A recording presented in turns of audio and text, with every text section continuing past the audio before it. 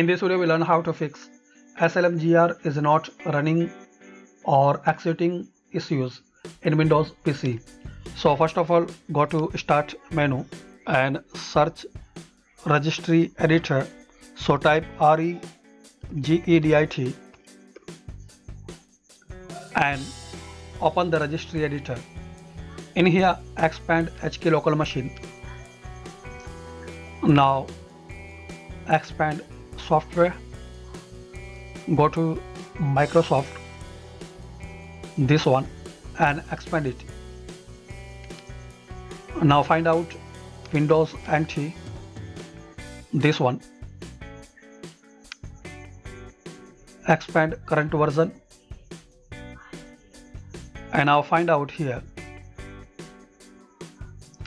Software protection platform. So double click on it now you will see skip rearm.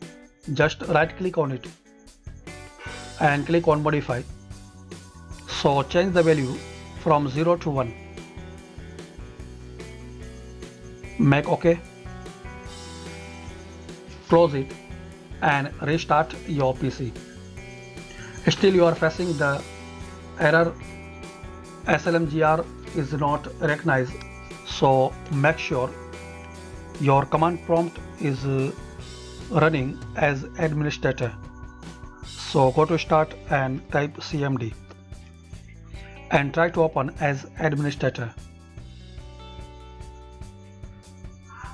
And second thing you have to do make sure slmgr and dash rearm is reading properly.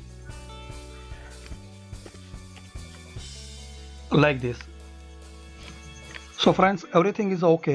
Still you are getting the error. So last thing you have to do go to this pc c drive click on windows. And in here click on system 32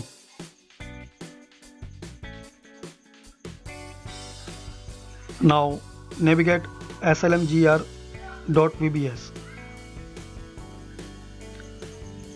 this one. So if you are getting the name with uh, something else so rename and write the slmgr.vbs and restart your pc i hope by this method this error will be fixed. Thanks for watching this video